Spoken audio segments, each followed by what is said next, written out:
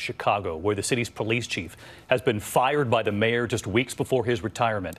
The mayor citing ethical lapses that she said were, quote, intolerable. The mayor saying the police chief lied to her repeatedly after he was found asleep parked behind the wheel of his SUV. But the mayor not revealing all today. She said out of deference to the chief's wife and his family. Here's ABC's Lindsey Davis.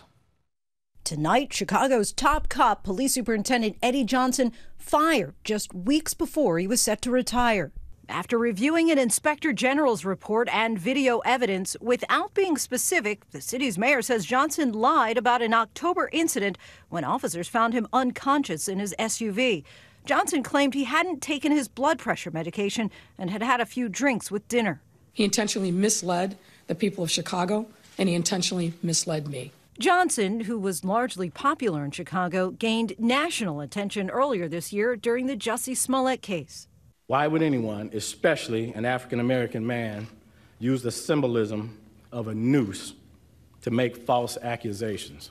Just last month, the mayor celebrated Johnson's more than 30 year career as a police officer. But today, an about face. The mayor saying he demonstrated a series of ethical lapses she called intolerable. This moment needs to be a turning point for the Chicago Police Department, the way things are done in this city. It is unclear at this time if Johnson will be entitled to his pension. The mayor declined to comment about specifics about the case in deference to Johnson's wife and children.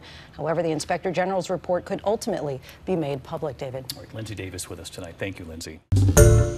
Hi, everyone. George Stephanopoulos here. Thanks for checking out the ABC News YouTube channel. If you'd like to get more videos, show highlights, and watch live event coverage, click on the right over here to subscribe to our channel. And don't forget to download the ABC News app for breaking news alerts. Thanks for watching.